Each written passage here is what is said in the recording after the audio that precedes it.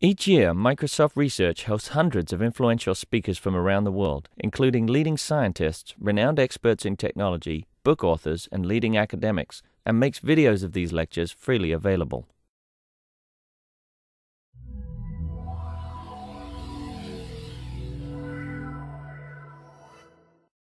Start. Uh, the, the, the, idea is that uh, I will try to present you a conceptual framework to make uh, models of biological systems and to try to predict their behavior based on uh, computer science technology rather than on classical mathematical modeling. So the, the outline of the talk will be I will present first some slides to tell you what COSBI is, and then I will introduce this conceptual framework, which is based around a language uh, called BlenX. I will briefly introduce the language and the computational support for the language, simulation, modeling, uh, and visualization uh, related to the systems we are studying.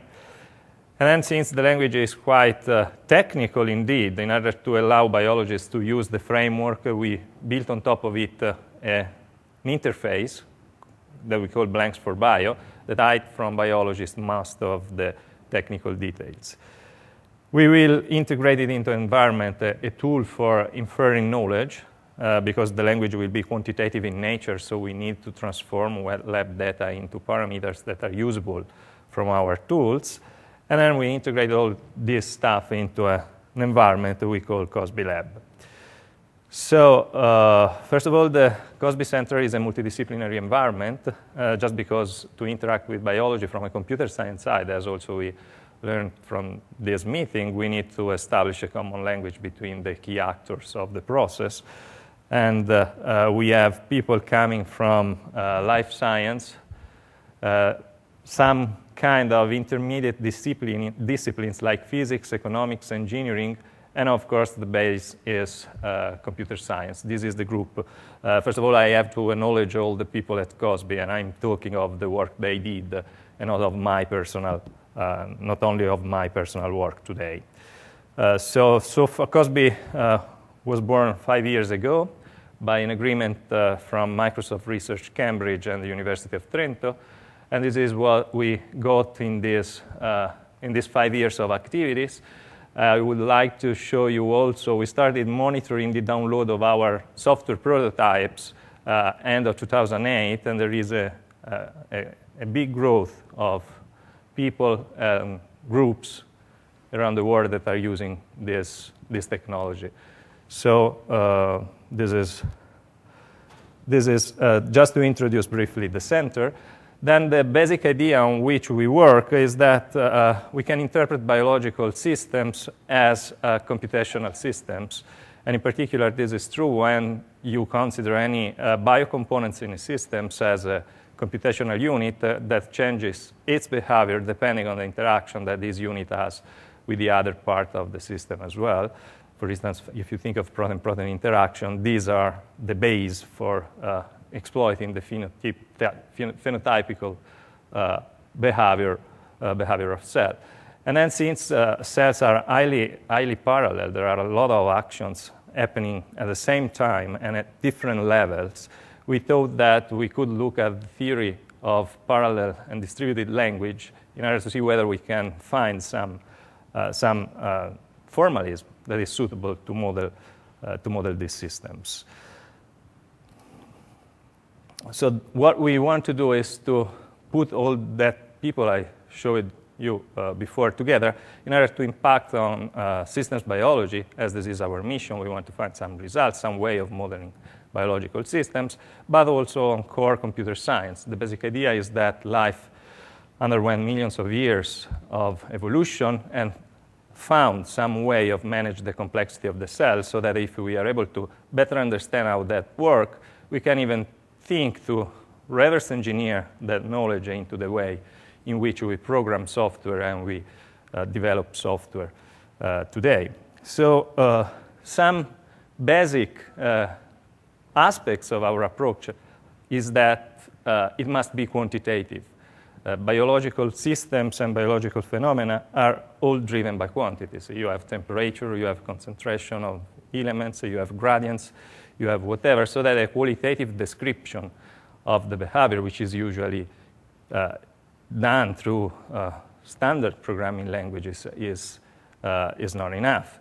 And what we want to exploit is also computational thinking in this, in this uh, effort in order to see which are the mechanistic steps that the system perform in order to evolve as uh, we observe uh, in the lab. And this mechanistic uh, description allow us to, uh, to infer the causality between the events, and this is something which is really useful once we want to make prediction of the future behavior. Then I said we want to have formal specification. In order to have formal specification, we have to find formalisms that are not ambiguous, like the, uh, you know, the natural language, which is the main vehicle of uh, disseminating biological results uh, in, in, the literature and in the conferences. And that is not uh, suitable for being compiled in something that can be executed uh, to provide the, uh, the outcome of the simulation. Then there is the problem of complexity. Uh, the systems we are studying nowadays are increasingly growing in size. There are a lot of data that is produced, and all that data need to be taken into account. The classical mathematical te techniques used so far uh, suffer the combinatorial explosion problem. So if you think of ordinary differential equation, for instance, you have to foresee a variable for any possible state in which a protein during uh, the simulation can be. And this is something that, of course, uh, is uh, computationally intensive on one side, but it's also something that limits the capability of writing large models because we cannot manage intellectually the complexity of considering all that, all that variables. So what, what we are proposing is something that is different from classical bioinformatics, which has, which has uh, mainly focused on static and structural descriptions. And it is also different from mathematical and computational biology. Mathematical and computational biology is something that uh, refers to the fact of using computer uh, to solve uh, description or to provide help in making some calculation on the outcome of experiments or on the equations that are used to describe the uh, global behavior global behavior of the system. And there is usually a double step of relationship between these mathematical models and what you observe out of a solution of a systems of equation because first you have the biological knowledge, you have to translate this biological knowledge into a mathematical formalism, which are the equations, and then you have to code that equations in programming languages in order to solve the systems and to obtain the behavior. Any of these two steps need to be uh, done by some expert, one, the first one in, mathem- in, mathematics, and the second one by uh, a computer science, a computer scientist. And for both steps, you have to trust the guy that is doing the job that what he produces is exactly what the system does and is exactly what you would like to, to see. So in this, uh, in this respect, uh, the main challenges that we try to address in this uh, COSBI lab environment are uh, here listed. The first one is uh, our approach is interaction based, as we interpret uh, uh, biological entities as computational unit and their evolution is driven by reaction. We describe those reactions as an exchange of information between, between their representations. And then, of course, since interaction is around and concurrency is around, uh, there is also an emergent behavior which is not usually uh, easily inferable from the single behavior of the subcomponents, but it is just the set of subcomponents we consider, the way in which they interact, that produce the global behavior that we observe. The second uh, important issue that we have to address is partial knowledge. Par- partial knowledge derives from the fact that uh, in most of the cases, if you want to have a, a, very specific and precise description of the biological systems you are considering, uh, you need to have a lot of information which is not available. It's not available because experiments are uh, too difficult to be performed in the lab or because are uh, needed too much resources to perform these, these experiments. So any uh, modeling environment have to cope with this lack of information, and we uh, need to identify ways of uh, suggesting possible values of this lacking information to produce new hypotheses that then can be tested in the lab after uh, an, in silico, an in silico analysis to reduce the number of possible experiments uh, to be done. as far as experiments are concerned, it is also possible that there, is, there are ambiguous uh, observations in different labs. You can get different values for the same for the same experiments. There is no standard formalisms. There is no standard protocol for storing uh, uh, this uh, information so that many times you have to perform manipulation of the data, even if you retrieve it from public databases or private databases, in order to match them with the standard way uh, that you want to use it into the modeling system. Then, uh, in order to describe the behavior of complex systems, we have to take into account the fact that uh, there are different levels of abstraction. You can think of the DNA, you can think of the proteins, which interacts together and, def- and decide which is the behavior of a single cell, but cells interact between them, they form tissues, tissues forms organs, and so on and so forth. You can go up till uh, full organisms or even population of organisms. And then, of course, you have to take into account the time of these processes and the distribution in space uh, of the elements you consider. And then finally, as I said before, we want to be able to exploit causal relationship between the actions that drive uh, the evolution, the evolution of the system. So here is the basic idea. We want to be able to make prediction uh, using simulation and representing the uh, biological systems through a programming language whose execution of programs provide a possible outcome in time of the systems that is represented by the language, with the goal of reaching some sort of digitalized representation of the uh, biological system so that we can use that digitalized representation to perform experiments by perturbation, by uh, what if uh, techniques. Of course, we cannot do this abstractly, and we have some fields we uh, work on in order to take biological information. In particular, at, molecular, molecular and cell biological level, we are studying many different pathways uh, all together all together in order to take care of their interaction and growing from single cascades to a, a real networks of interaction. And then also we uh, consider morphogenesis and tissue in order to be able at higher level of abstraction uh, the availability of cell-cell interaction and tissue formation. Then we scale up even more, um, moving towards uh, ecolo- ecology, where we uh, study through uh, networks and still through uh, stochastic simulation ecosystems and how elements of ecosystems interact with the aim at producing helps in the definition of policy for conservation management.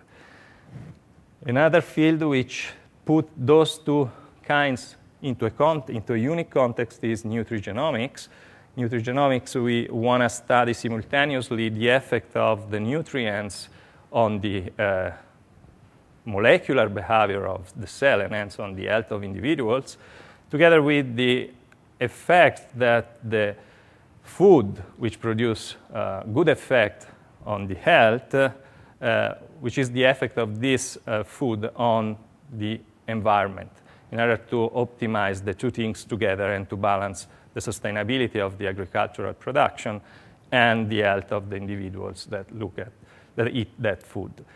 Of course, a similar, very similar approach can be uh, applied also on pharmacology, uh, where we are again using the knowledge acquired in previous uh, molecular and cell biology works to study the effect of uh, drugs in terms of their efficacy, in terms of the dosage, and in terms of the best way in time to, uh, to assume drugs uh, related to um, oncological, oncological drugs. So this is a, a, brief introduction of what we are doing and what we want to do with this COSBI Lab, uh, this COSBI Lab platform. So the conceptual framework is the one of identifying and modeling formalisms in which we are able to encode what happens in nature, then performing some sort of inference, so reasoning on this formal system, and then decode what we get by reasoning on the formal systems in terms of what it means on the real systems in nature. This, of course, is not an easy task. This is a metabolic pathway. You can see how complex it is. It is almost impossible to manage it by, uh, by hand or even to try to code the pathway in, in, in, in any formalisms without introducing, introducing a lot of errors. So the formalism feature uh, that we are including in our proposal are uh, the fact that it is not competing, first of all, with any other kind of modeling. It must be uh, complementary and interoperable with, with uh, mathematical modeling, for instance, and it would be also interoperable with other kind of uh, modeling techniques that address different issues with respect to the main one that we are addressing. The main one in, in, our, in our case are concurrency and complexity, as I said already. Uh, the description we want to have is an algorithmic description of the system so that we have the rules uh, that describe how the system behaves. And it must be quantitative because, as I said, biology is mainly driven by quantities, and we have to take into account those quantities into the specification formalism. We want to express causality. It is interaction driven. It must be synchronous because uh, in biology, uh, interaction happens when, at least at cellular level, if you think of protein protein interaction, uh, interaction means that two proteins bound together to form a complex, and of course, to bound together, this is a, a synchronous event. And of course, those uh, events change the future behavior and the capabilities of the new objects uh, that uh, popu- populate the system, so we need to be able to dynamically change the capabilities of any of the objects. Uh, we want to avoid a combinatorial explosion. We want to have compositional and modular representation of the system. So the metaphor underlying the language is this one. Any biological entity is represented as a process. The interaction capability of the biological entity are considered to be typed interaction sites of the process uh, interaction, real interaction in the biological realm is an exchange of information over these sites in the computer science uh, approach. Complexation and decomplexation, binding and unbi- in biology is like binding and unbinding of names in computer science, and then the dynamics, biology, is represented as the state change of the systems when we run, when we run a program. So uh, we have uh, an environment like this, which has the BlenX language that I will introduce briefly at the core, with a, lo- with a set of tools running around the language that allow to infer knowledge from experiments in order to fill the model with parameters, to compose models together, to run the models in order to get the outcome of the simulation, to be able to, to abstract information from the outcome of simulation to visualize in various ways that, that information and also, of course, to import and export the results uh, of the simulation from into and, fr- and, and, and from our environment. So, uh, briefly, the genesis of the BlenX language is uh, starting from stochastic pi calculus that was defined then many years ago to model computer networks. Uh, stochastic pi calculus was then applied to biological systems, but it was not meant for that purpose. Uh, so there, there, there is a need of many tricks using that language to model uh, biological systems. So uh, after some attempt and some experience in making those kind of models, we decided to try to design a language from scratch, having in mind the advantages of the stochastic pi calculus, but uh, directly inspired uh, bio, by uh, biological systems.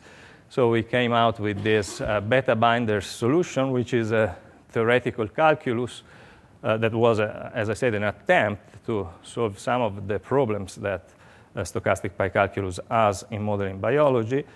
And uh, it solved theoretically the problems. Then, when we tried to make an implementation, it was not fast enough uh, for simulating systems, so that we slightly modified this calculus again, reaching the BlenX uh, language, which is the actual one, uh, that has uh, the benefits of the calculus in solving the problems of pi calculus, and it is fast enough for performing uh, large size simulation.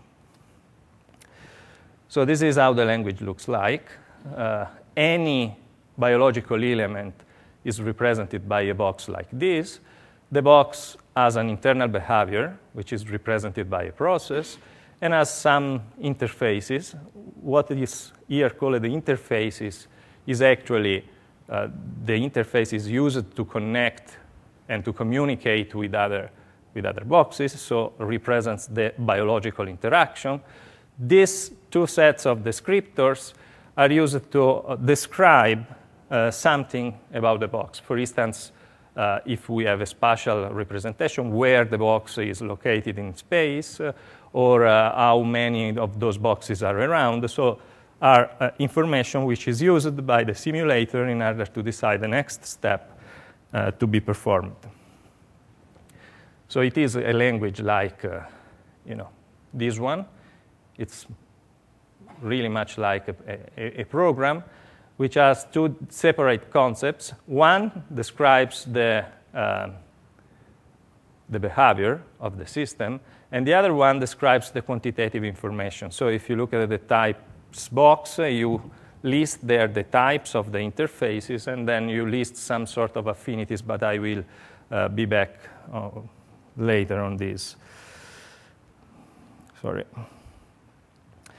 So there are three kind of actions that one can perform that we call monomolecular actions and are those that affect a single box in the system. Uh, biomolecular actions that are those that affect one or more boxes so that two boxes can complex or communicate or exchange information. And then there are events, which represents a global uh, operation on the system. So for instance, if we uh, consider this box, it has uh, the process inside, which represents the behavior, and the two interfaces. Any interface has a name, x and y in this case, and the type, t and u in this case here. So one action that we can perform to change, to change dynamically the capabilities of the box is to add an interface through this expose operation.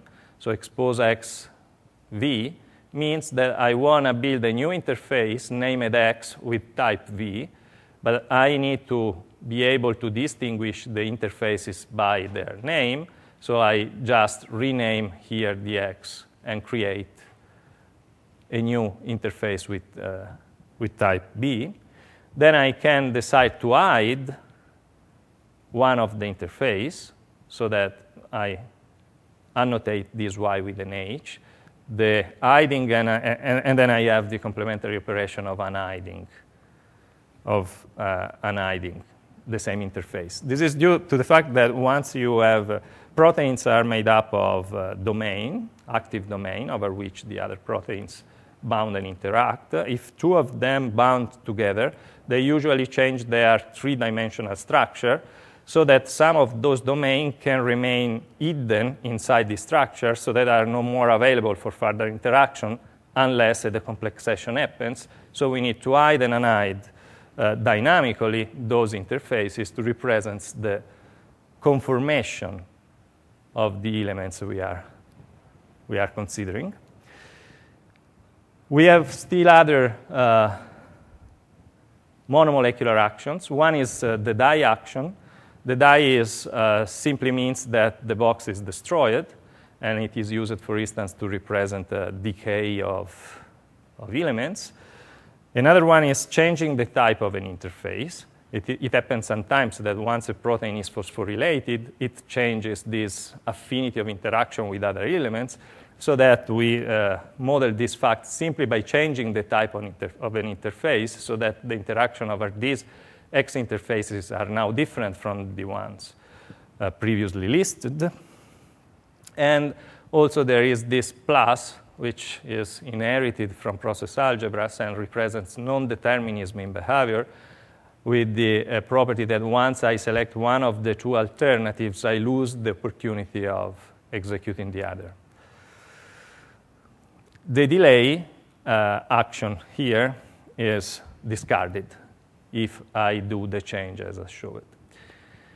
Bimolecular actions. Bimolecular actions is when boxes exchange information or complex one another to build uh, new entities uh, into the system. This is something that uh, in computer science is done once the two partners know exactly the name or the port or the address of the other. Uh, and it is how it is modeled in, in all the process calculi or, in all the language used so far to model biology, as far as I know. But it is not the case for biological systems because two proteins uh, can interact even if uh, they do not have exact complementarity of their domain. So in biology, interaction is not a key lock operation, but it depends on the affinity and on the number of proteins I have around the one I'm considering. So even if there, there is not a an exact complementarity, but there is great abundance of proteins quite similar, interaction can happen with a different probability, with a different speed, but can happen anyway. So the idea of uh, doing this sort of interaction is that here uh, operations are represented as send and receive operation. The question mark is the receive, and this other one is uh, a send. So in any uh, calculus or in computer science domain, these two can communicate if they share the same communication channel so that they should have the same name. This is not the case because we decided to raise the compatibility of communication between objects not at the name of the channel but at the type of the channel.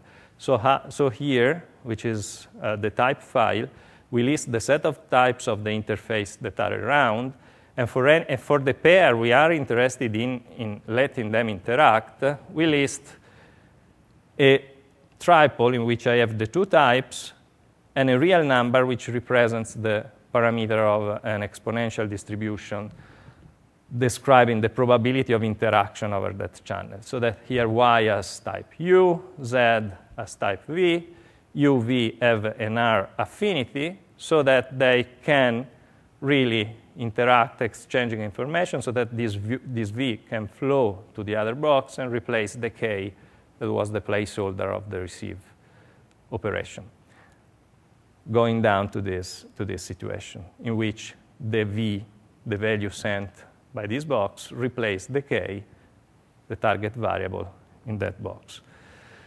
But of course, since x as type t and z as type v, and also t and v are compatible with a different probability R1, the same two boxes can perform even these other operations so that the V now is interacting with the first receive and the W. Uh, sorry, here is a W, and the W is replaced in P1. So this means that there is non-determinism in the interaction. And the same, from the same state, I can have many different interactions that are uh, characterized by different affinity probabilities. We will use these affinity probabilities to drive the stochastic, to the stochastic simulation. And in particular, we will consider the probability plus the concentration of the objects that are involved.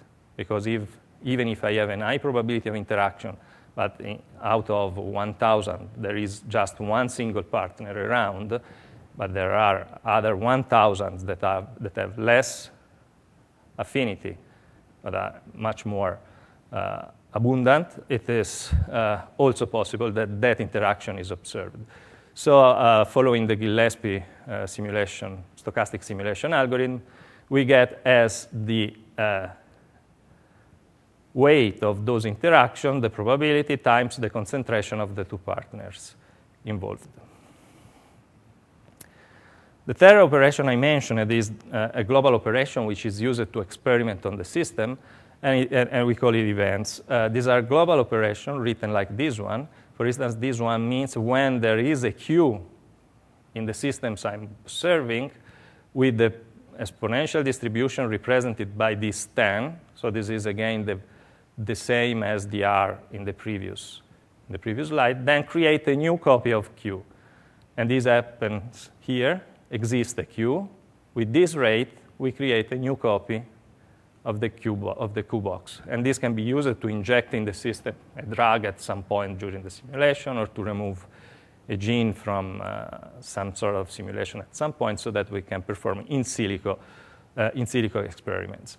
Now, uh, the fact that we of using simply constant to describe uh, distributions is a limiting factor because we could have the, the possibility or, or the need to express some sort of variable, dynamically variable uh, affinity rate so that we allow the possibility of using functions defined whatever we like instead of a constant that are computed in once I observe that there is an R and Q in the system, as this, the, as this is the case, I compute the, the f function, and with that rate, I can perform a join, for instance, of R and Q and introduce a P in the system. So R and Q here are joined to produce a P. And these functions depends, for instance, on the concentration of the S, so that I can decide to have rates which depend on the state of the systems in which we are. I, am going to, to use them.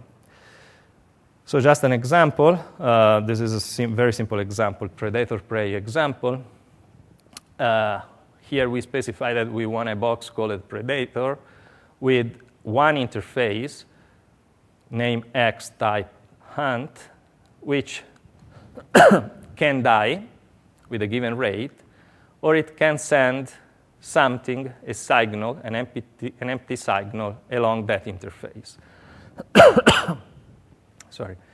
The prey is a box that we call prey that has two interfaces, one called the X, again we type hunt, the same type of the predator, and another interface named Y, of type life. And this can interact with something, in particular, this X will interact with that X, and it means if there is an interaction, the prey and the predator get in contact so that the prey die. Or it can send something along life, uh, which means uh, the prey can eat and, and, and, and, and du- duplicate. Then we have the nature, which is support of food to the system, which simply uh, repeatedly interact along an X channel of type life, so it can interact with the prey, which has always food to grow if it is not killed by a predator.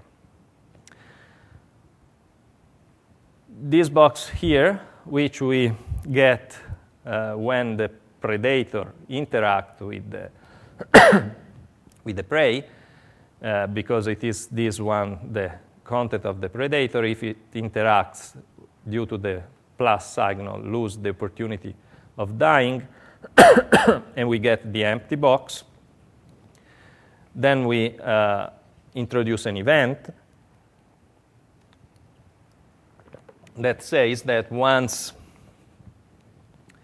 we have an empty box of this kind, that we call it here predator replicator, we can split it in two copies of the predator so that the predator is reproduced. The same can be done for the prey. And then finally, here we say that we want to run a simulation in which there are 1,000 predator, 1,000 prey, and one nature, so some, someone that is providing food for the, for the prey. And what we get, uh, the affinity are the ones you expect, so that hunt along the hunt uh, type, prey and predator can interact, and along the life type, uh, prey and nature can interact. So we can have this interaction with, between predator and prey. The prey is left with a die with the infinity uh, probability, so that it will die for sure, and the, predate, and the predator remains with the empty box due to the die and to the event I showed you before, this box die and this box is split into two copies of the predator. So if the predator hit can reproduce. Otherwise, it will die after some time. And what we get out of that is the typical oscillation of systems in which you have uh, prey and predator just running, just executing the program. So there is uh, uh, another issue. I said in the beginning, complexation and the complexation between boxes. Here I showed you just flow of information between one box and another. We want to maybe uh, build complexes in which two boxes bound together, like this one, so that we can interpret this QR plus this link as a, an entity different from the others and new, newly generated within the system. This was the specification of the affinities I've showed you before. So uh, it means that U and Z have an affinity 3.5, U and V have an affinity 1.5, but that affinity was just used to decide the speed of the flow of information between one box and the other. In the previous uh, languages used for modeling biology, this kind of complexation is programmed ad hoc, so that you have to put lines of code to say that the two boxes have to complex, and you have to put even lines of code if you want to, this box to decomplex at some point. But this is not what one wants to do because complexation and decomplexation is the very basic mechanisms in which biology evolves. Most of the entities just complex and decomplex. So it is something that is not worth uh, losing uh, intellectual uh, effort in, in order to be modeled. You would like to have the support of your systems to generate those possibilities automatically out of the definition of the interaction. So we decided to add two further parameters. One is complexation affinity, the other is decomplexation affinities, that automatically allow to move from one configuration to the other. So just adding these two parameters into the type file, all the operation of complexation and decomplexation are automatically generated by the system without the need of programming them. You have just to say that these boxes can complex, and then the system generates the code for you. And due to this uh, complexation and decomplexation probability, we can build a structure, complex structure, uh, out of just manipulating the affinity file. Uh, we can build list, we can build rings, we can build trees, uh, we can create dynamically and change dynamically the capability uh, of, these, uh, of these structures. So, in particular, we can have code for generating binary trees randomly, starting from single box without the need of programming uh, all the uh, attachment and detachment of nodes. What we have here, we can start from a set of nodes we call initiator that have an interface. And then we start, and then we add a set of nodes which have uh, a root, a root uh, interface, and two child interface the initiator always binds to a root of a node, and it is used to activate that node. What we do here is to, once a node is bind to an initiator, we unhide the two child interface so that now nodes can attach to that interfaces. And uh, just doing this, you can build first the initiator binds to the node, then the node is activated, so now it works like, like a root. Then one child can attach to the first of the two uh, child interfaces. So now it is a box in which we, written here root one to say that it is a root with one child. Then we can add a second child, and so on, till building uh, complex, complex structures. Changing the affinity of complexation and decomplexation without touching anymore the code, we can change, we can change the property of the trees we are, uh, we are building. And this is actually the basis for modeling morphogenesis in tissues, where the nodes here are cells. uh, that bound together to form a tree, uh, a tree or a ring structure. And again, we have just the local behavior, so the node, the root, and the childs, that produce a global behavior just specifying the interaction capabilities between, uh, between the nodes. So the main complex, the main concepts of this BlenX language is that, uh, of course, it expresses causality because we have an algorithm, so we know exactly which are the steps performed in order to reach a given results. Uh, it can work at different level of abstraction. I showed you an, as a first example at population level in which we have predator and prey. The second one, which is just building of trees, but you can think of it like building a tissue and uh, it can work uh, since, since you can make model just putting together those boxes it is amenable to work with libraries in which we have predefined boxes for the main biological components we are interested in. And just manipulating the affinity of those interface of the interfaces of those boxes we can build and put together a large model. This is why in the beginning i said to you that we are looking at the crosstalk between different pathways, we can model them separately, and then just by adding some interfaces here and there and defining their interaction capabilities without changing anymore the code we wrote, we can simulate crosstalk between different pathways.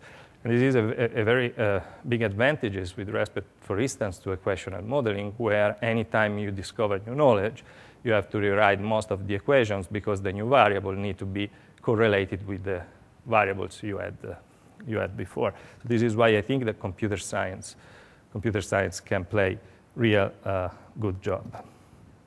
So there is, uh, of course, an implementation of this blank lang- BlenX language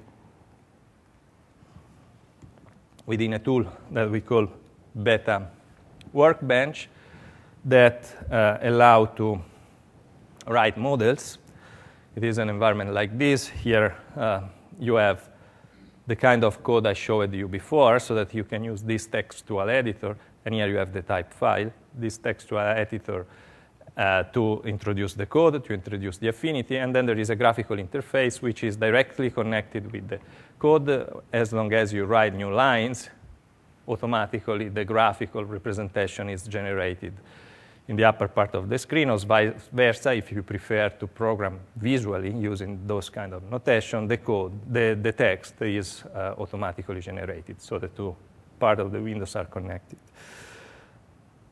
If you want to introduce complexes, there is a part of the editor that allow you to build those kind of things. This is a, this is a complex, so many boxes uh, bound together that you can uh, introduced since the very beginning in your systems without the need of starting with the single components that interacting will generate that complex.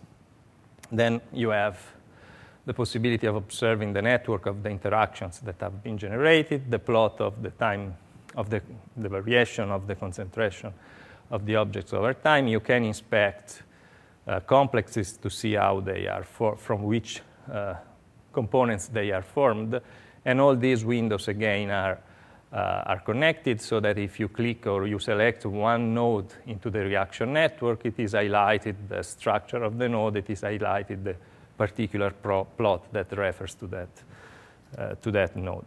There are some layout algorithms that allow you to visualize the networks uh, in different ways, depending on the kind of properties you are interested in. And uh, you can also select subset of the network to inspect uh, just those subset.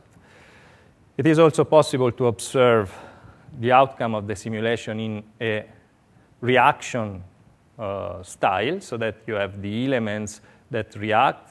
Here you can, uh, probably is not readable, but it is written over there is these reactions are labeled with the kind of action that is performed and the outcome. Then if you click on some of these elements, you again can inspect how they are formed and how they look like.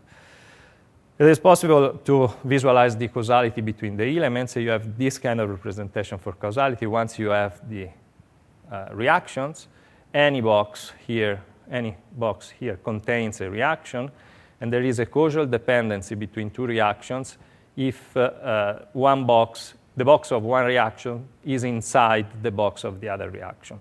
So in particular, here you have this box, and you have two boxes inside with no relation between the two. It means that this uh, left box and this right box reactions are independent one another, so that in your systems you can observe them independently, uh, one before the other, or vice versa just because there is no causal link uh, between the two. And finally, we can export the models into SB, uh, into SBML for uh, interoperability. Now, uh, we started with this part of the tool, and we easily realized that the networks we can generate, if we consider large systems, can be very large and probably uh, not easy to be analyzed with that tool I showed you. So far, so we defined a new network analyzer that we call, uh, we call Graph, which is uh, able to import a, a full set of uh, formats so that you can import uh, of, of, course, uh, the, the outcome of uh, the simulation run inside the environment can be imported into this tool, but also you can import graphs from many other, many other uh, simulator. You can then represent the graph here inside. You can, select, you can compute on the graphs a full set of uh, index computation or algorithms that select parts and verify hypotheses on the graph you have you can, uh, okay, select part, uh, select part of the graph, and for instance, this part here, you can compute some uh, indexes, you can uh, calculate shortest paths between two nodes, uh, you can uh, visualize the nodes, uh, changing the size of the nodes or of the edges, depending on the weight that you can attach to them. You can attach graphics information to the nodes. This is an ecological network, so is, these are fishes, but in general, what we can do if, it, it, if uh, we consider protein-protein interaction network, we can attach to any node the three-dimensional structure of the protein, so that can be inspected here. So, uh, so, so we can, uh, at this stage, we have seen that we can write a model, simulate a model, and make some kind of analysis on the outcome of the simulation, both on the network or on the plot side for the concentration of the elements. Now, I said in the beginning we want to be interoperable with mathematical modeling because, you know, sometimes it could be easier to manage systems with ordinary differential equation, in particular since we are relying on stochastic simulation, uh, it is, uh, our approach is much more useful when there are elements into the systems whose concentration is very low, so that the noise of the system can be, can be high. But if we consider systems in which most of the quantities are, are very high and are almost constant uh, equations describe in a quicker way the steady state behavior, behavior of the system. So we explored that, which is the relationship between our approach, our formalism, our modeling approach, and ordinary differential equations. And for doing that, we uh, considered the cell cycle uh, description. This is a reference model that is uh, available in most books uh, of biology for describing the cell cycle, and there exist models that have been already validated by experimental uh, practice um, done by differential equations. What we did is building a model, simulating the model, and uh, looking whether the uh, outcome of our simulation is more or less the same of the one of the ordinary differential equations. So that said, it is just the first step of the story because, of course, you can write a program that produces the same kind, the same kind of oscillations. What we want to do is to automate this translation here. So just having the set of differential equations, we want to have an automatic way of deriving this, the program, a program that produce the same outcome of the set of equations. So um, The main difference is that the equations are deterministic and work mainly with the concentration of elements. We are doing stochastic simulation, so we have to work with the number of elements in our systems, and fortunately, there is this easy equations that uh, transforms concentration into numbers of molecules, and it is based on the Avogadro number and on the size of the reaction volume. This is standard from chemistry. So uh, let's see how can we translate automatically the systems of equations into a BlenX model. And consider, for instance, this uh, part of the model, which is pictorially represented here, and say that the concentration of sic bt uh, depends on these parameters, k1 over alpha, and it is uh, and depends on SIC-BT degradation. So first of all, there are some constants around. Uh, I said to you that we can represent rates through functions, and we list here just those functions exactly with the same name. So we define alpha, which is a constant to which we associate the value that alpha has in the original model, k1, k2p, and so on and so forth. Then here says that SIC-BT grow, concentration of SIC-BT grows proportionally to this constant. And hence what we do is just to add an event to the systems which says whenever I have SIC-BT into the system, with this rate, which is k1 of alpha, defined here, k1 over alpha, I add a new, a new element of SIC-BT. So I'm making growing the number of SIC-BT according to this parameter. The other is the degradation. So according to the parameter K2P, depending on the cardinality of SIC-BT, so this is the definition of the parameter, I add an event that says with that rate, I delete a copy of the box. Of course, I can do the same for all the other part. I'm not spending too much time here. I can do the same job for all the other equations so that having the list of equations with that translation, I get a model. I have a function file in which I have defined all the parameters. I have a model file, which is the code generated by that translation algorithm. And I have an affinity file that says which are the boxes that can interact. I run the simulation, and what I get is exactly with the difference that we have some stochastic noise, of course, instead of having a deterministic solution, I have the same behavior of the ODE model and of the BlenX model. We made much more experiments looking also at mutants of the original cell type used in the ordinary differential equation, and again, we get, through the translation, the same results also in the BlenX model, various experiments, and the results is the same. So the automatic translation allow us to reproduce the outcome of the set of equations, but once we observe the network of interaction, this is, although the plot is the same, the network of interactions is not too much related to the, to the one uh, that we saw in the begin- at, at the beginning, in which all the elements were connected. So what we do is that introducing or modifying, we can use the full power of BlenX because the translation uses just as target a subset of the language to introduce some kind of synchronization between the elements. And so manipulating the automatic generated code, we can get a situation in which also the network of interaction that is produced is very similar to the network, to the wiring of the network of the cartoon representing the cell, the cell cycle. So uh, the last uh, slides show that we can program a biological system.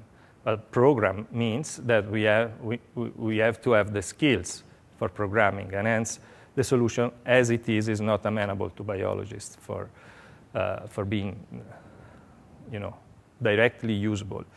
So we uh, decided to put on top of the language a higher level interface, which is tabular uh, based, so that people that wants to make a model just have to fill some tables. Uh, they need to know nothing about programming. They fill some table. The original idea was to use, um, before the tables, was to use a natural, uh, a constrained natural language in which there were some holes that biologists have to fill selecting some keywords from a list of, uh, of keywords so that we uh, ruled out ambiguity from these modeling activities, and then we were able to define an automatic translator from this set of statements into an algorithmic uh, description, but uh, that was not so much structured and it was not easy to be used. we tested these activities with, all, with, with many of our uh, collaborators in biological labs around, and this tabular uh, solution seems to be the more, the more usable directly by them. So actually we have uh, four kind of, uh, of tables that I'll show you in a while to represent the structure of the systems in which one lists the compartments, the components, and the complexes. Uh, one for one set of tables for uh, listing the capabilities. So again, the binding affinities that I showed you before in the language, and the translocation affinities, so the capability of objects to move from one part of the space to another. And uh, uh sorry, here is not binding affinities and translocation affinities, but is uh, dynamics, binding dynamics and translocation dynamics to describe the behavior. And then we have a support table in which one insert all the parameters, all the functions that are used in the models. So you can easily recognize here all the main feature of the BlenX language. We have this structure table that describe which are the boxes I'm considering the capabilities which says which are the types of the interface that I'm adding to the boxes, the dynamics that will provide rules for interactions, and then the parameters which are the rates and the function I showed you before. So the tables look like this. It is a, um, a collaborative environment, uh, this BlenX for Bio, where many different people can share the same model and they can work together on those models. It is library based so that you can import from some public database components that are uh, stored into the tables according to that information, and then you can, you can manipulate a little bit it if you, if you want. And uh, this first table is mm, describe compartments so that here you say which are the main compartments of the system you are interested in, for instance, cytoplasm, nucleus, membranes, and so on and so forth. Uh, you say the, stru- the, hierarchical structure of the system here, uh, specifying for any compartment in which other compartment it is included. Then uh, you can define the size of the compartment, which is used for automatically translated concentrations into number of molecules. You remember I need the volume of the reaction. And then there is uh, description of how many of these objects are around. Of course, there are part of the tables that are not visible here that are over there in which you can add notes or whatever you like to describe uh, the, single, the single lines. Components have more or less the same structure. You give a name to a component, you can describe what it is. Here is a library column, so if you are picking some of those, of those components from a library, here it is listed, which is which is the library. And then for any of these components, you have to list the sites, the active size or the active domain of the component, which will be then translated into the interfaces of the box. You have to say in which compartment it is located, how many of those components are available, uh, references, if you like, note, and so on and so forth. And then uh, in any table, there is a reliability measure just to take into account whether the data you are using is uh, coming from a, an experiment, a real experiment, so that you can assign an high reliability to that, or whether you are guessing or inferring from some other information so that the reliability is not so high, and so on and so forth, so that in the end you can even associate a measure of the reliability of the results you get out of uh, the simulation. Complexes are defined more or less in the same way as components, and then we have the binding affinities that for any component, you list two sites, which are uh, the,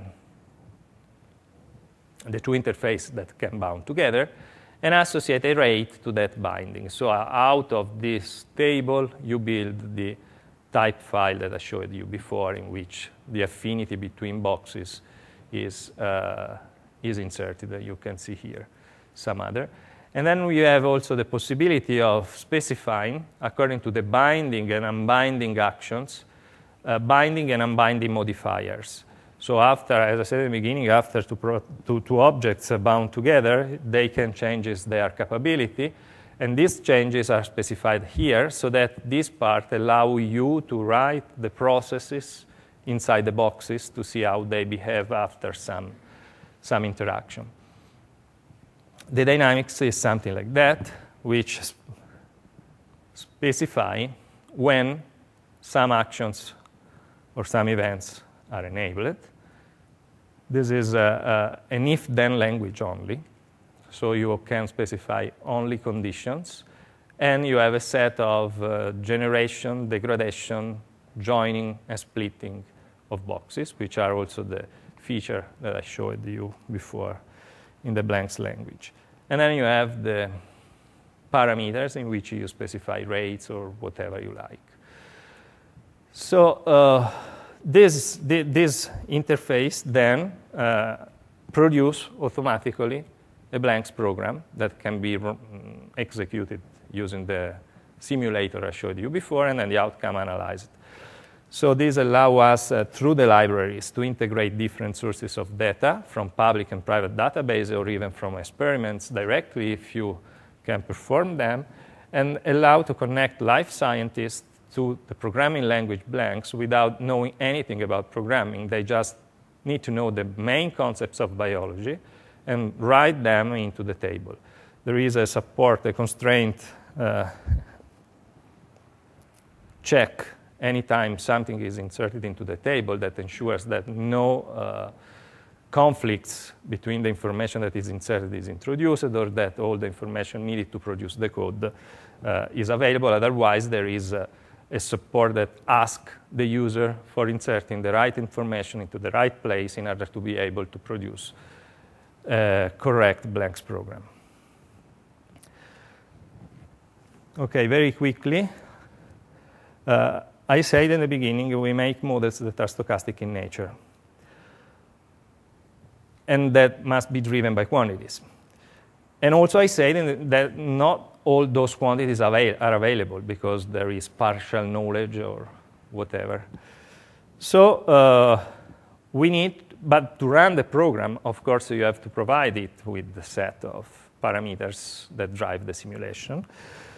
Uh, the basic idea is uh, that we have, if we have experiments of some kind, usually the outcome is not directly amenable to be inserted into the program, so that we need to, we need to um, manipulate it. In particular, the basic idea is that most of the time what we have is a cartoon like this, in which you have biological elements that interact together, produce something different, or they are translated some some other stuff. And you can have experiments that tell you which is the variation in concentration over time of this element. So that the experiment measures at different time steps, time points, the concentration of those objects. In order to perform a stochastic simulation, I have to associate a rate, a speed, to any of these reactions. So this tool, KInfer, what does is to take the concentrations and the qualitative description without parameters of the biological systems and produce infer values for these, for these reactions. So here we describe a, a model in terms of reactions with no parameter, just a rewriting of the cartoon. This rewriting of the cartoon is automatically transformed in a set of equations that can be inspected, and then if you do not, do not like those equations, you can write your own. And then you input the time series of the concentrations that you have got from whatever, and the tool, uh, sorry, and the tool produces the values, suitable values for the uh, parameters. Of course, this is an inference, and you have to check whether this inference is correct or not, or is this suitable or not for the systems you are modeling. And we have on top of it a sort of sensitivity analysis that say us which are the main relevant parameters among the ones we inferred that can mainly affect the behavior of the system so that if we are producing hypotheses through these tools, knowing which are the main parameters, we can try to plan specific lab experiments just to measure that parameters rather than going ahead by trial and error. We can have some uh, educated guess for the experiments to be performed. We applied for uh, that kind of tool for the cell cycle model I showed you before, because of course what we had there as some description in which the stochastic rate were not available, but for which measurements of the time series were uh, available online. So starting from the model without parameters plus the experiments, KInfer was able to infer which are the rates that we have to associate to the, to the equations. So this is one example, and this is the outcome of the inference, which are more or less good for most of this part. We can apply it also to other, to other examples. So the last step is uh, we have a set of tools, but we want to have an environment in which the user can uh, experience something similar, very similar to a real experiment. So he would like to make uh, inference, simulation, analysis, and maybe even describe a protocol in which those applications have to be connected depending on the experiments you want to do. So we decided to implement an orchestration and a composition of services uh, that allow the user to define, to define sort of protocols. So for instance, here uh, we can describe a model, then maybe uh, th- this is related to an experiment of evolutionary biology. So we have a model of the system. We want to run multi times the same simulation. So this is a block that tells the environment to produce multiple run simulation. Then here we collect, so here we spawn many copies of the simulator, for instance, over a cluster machine. Then we collect the outcome of all those simulations and we compute some sort of fitness to see which are the, uh, the, the, the, the, elements that need to be passed to the next, to the next generation. In the end, we collect those elements, we apply a mutation to the code, which is done automatically on the interface or things like that and then we restart the process of the multiple simulation and so on and so forth, as long as we get uh, the thickness we are looking for, or as long as we reach a maximum number of loop into the, into the flow. Similarly, we can do much more complex things like this one. We can, for instance, have some BlenX model. We can input data from some database, infer the rates, edit the model in order to, mer- to merge rates and models, simulate, perform statistics, and visualize them through a chart, and to validate those statistics according to some experimental data that we can have. If the system is validated, then we are happy with the model that represents more or less what we were looking for. Otherwise, we can iterate the process and modify the model until we get the results selected. So uh, even other activities can be done to associate with part of the models a specific visualization mechanism. So for instance, for some part, I could be interested in looking at three-dimensional structure. For other parts, maybe I'm not interested, so that we have the opportunity to associate with any, sub, with any box the way in which it has to be it has to be uh, visualized. Uh, in this way, what we have is really uh, an environment in which we can define protocols or experiments in a process that is uh, almost standardized, at least with respect to the environment we are proposing, so that even different experiments done by different people using the same kind of environment are easily uh, comparable and integrable. There are other tools that at the moment are not yet integrated into environment, but we are looking at these integrations that are uh, spatial simulation based on reaction diffusion simulation that you can uh, visualize in a three-dimensional environment or, or, or, simulate it just using a two-dimensional environment and the plot dynamically.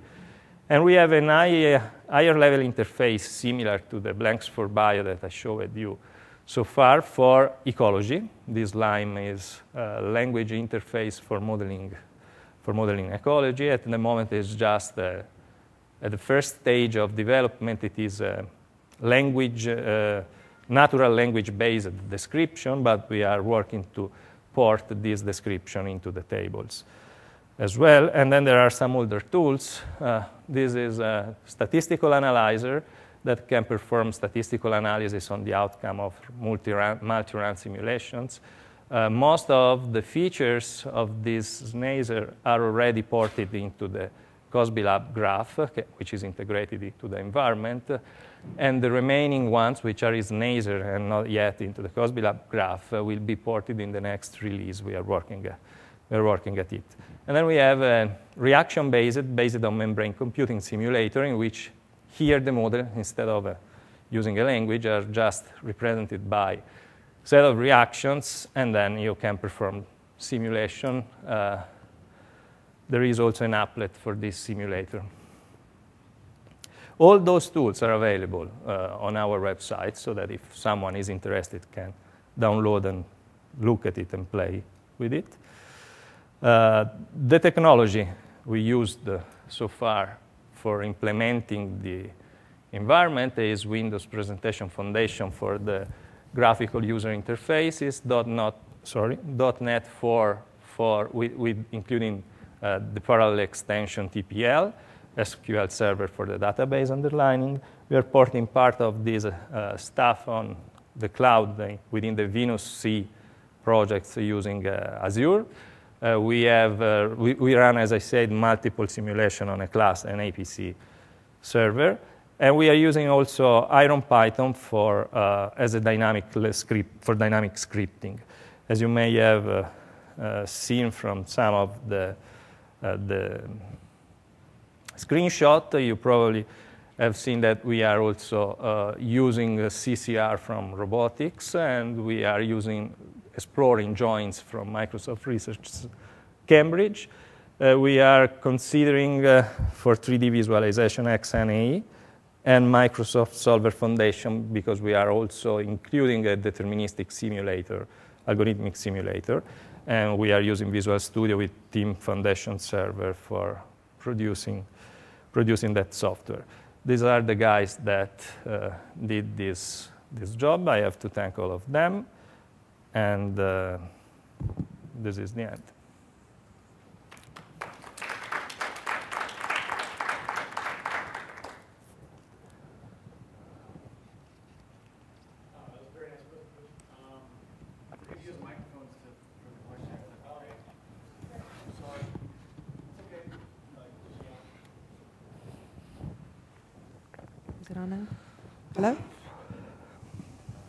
Testing one two. Yeah, I think it's okay. So um, one one thing that I noticed at the beginning of your talk, uh, have you heard of the term systems thinking?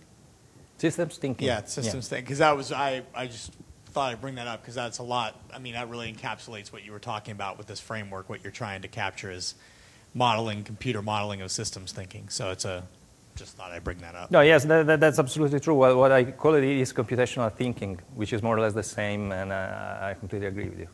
We, we had a systems thinking workshop at the University of Pittsburgh last week, and uh, uh-huh. Jeannette Wing was there taught, and did a talk on the, the uh, chair of the computer science department at CMU, and she gave a talk on computational thinking, and the uh, topic came up is what's the what is the difference between computational thinking and systems thinking, and uh, I don't think anybody had a good answer, but uh, it was uh, uh, she was she she thought that systems thinking was a subset of computational thinking. That's that's how she put it, but.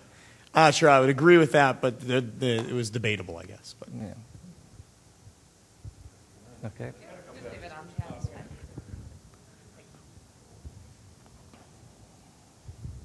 I just had a, a, a couple questions. So, what are the trade-offs? Um, I guess what are the disadvantages to your technique? I mean, is it slower execution? Is it? Yeah, yeah. So the, the disadvantage is that, uh, of course, if you have a set of equations and you want to solve them, uh, it is faster. It is faster for sure, but what they provide you is with an average behavior of the systems at steady state. So this is why at some point I say that if you have some systems in which you know that they have a steady state, it's probably better to use equations to represent them and then try to integrate the two approaches. So this is why I would like to have them interoperable. If you have stochasticity in the system, uh, of course, you cannot represent them with uh, equation, or even if you use partial differential equation, you add the, an artificial noise to the model. While in this case, you have a much more precise uh, representation.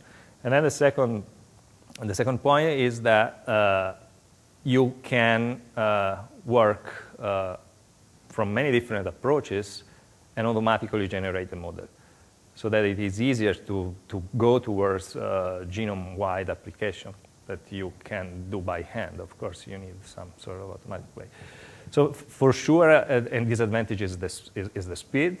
Uh, the second point, which is not a disadvantage of the techniques, as far as I know, but it is a disadvantage of the community, is difficult to convince people that something new uh, can be beneficial to them because they have their equations, they lived with them for 30 years, and so why I have to change? Yeah, I was wondering about that because I, to me, this seems to be much easier. But I was wondering about those in the field, what, how they felt about adopting it because they may be already ingrained in Yeah, the- diffie queues and things like that, and they'd be harder to, to or resist the, the switch over.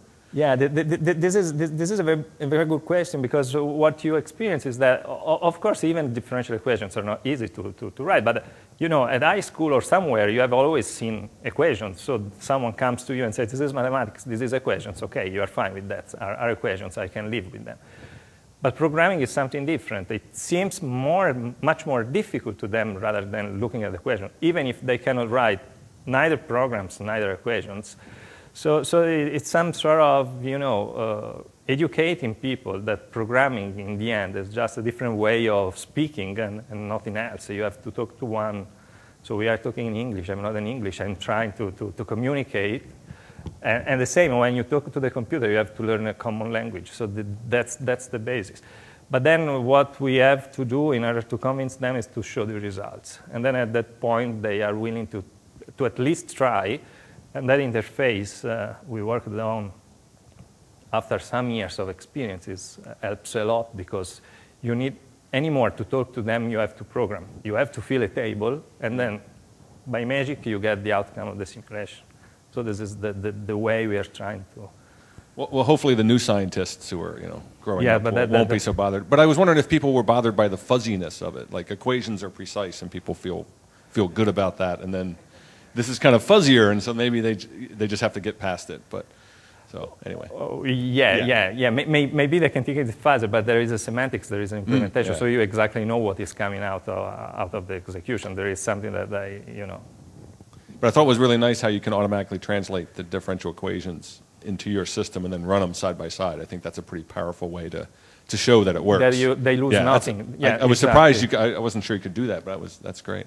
Um, I had a second question. Um, this is totally different. Uh, when I saw the tabular interface, Mm-hmm. and I thought plugging into Excel, did you? Uh, I mean, since you have an integrated environment, it probably doesn't make sense. But as soon as I saw that, I just thought of Excel because people are familiar with that. No, exactly. Exa- Yeah. that, that was the idea. We started trying to, to set up those kind of things, filling exa- uh, Excel tables.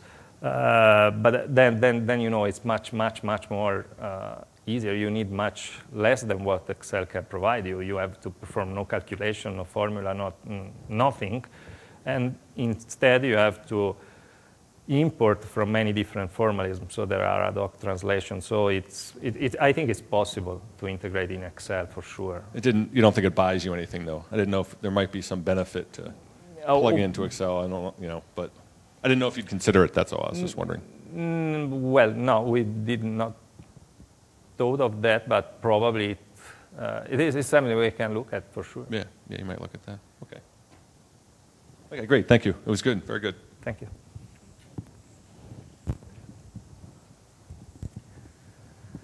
Any other questions?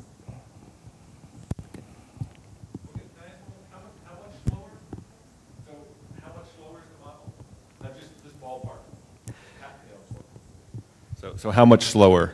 The, the simulation with this Yeah. approach with respect to ordinary Yeah, differential just- equations. Uh, it, it, it depends because we can write, uh, well, you know, as any techniques, you have thresholds. So you, you have to, to, to see how the structure is. You can write very simple model that you can run for three days instead of three seconds, or you can write models that are more or less at the same speed. It, it very much depends on the structure. There is no general. I have no Right. background here. I was just trying to get some metric of, yeah.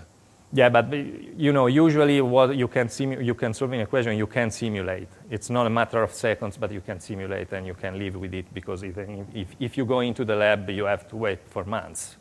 So in okay, the end, even right. if you have two hours for a simulation, it's fine. That's fine. Okay, great. Thanks.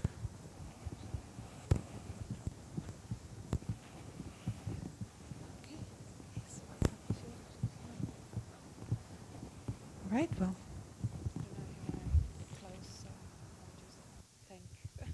Yeah, I think. Uh, well, I think you know uh, we should uh, you know thank uh, Corrado for I think you know pretty comprehensive uh, tutorial and uh, well inviting you to uh, come over to COSBI. I mean, COSBI is one of the three uh, joint institute that Microsoft Research Cambridge is running in Europe. One is in, in Barcelona with Mateo Valero on uh, many multi-core architecture. One is uh, in Paris at INRIA for uh, formal methods and in general, you know, around, you know, fundamental research in computer science. And then there is the one that Corrado runs, uh, you know, in collaboration with University of Trento, where he's also professor uh, on computational system biology. So I do invite you, you know, to come and visit.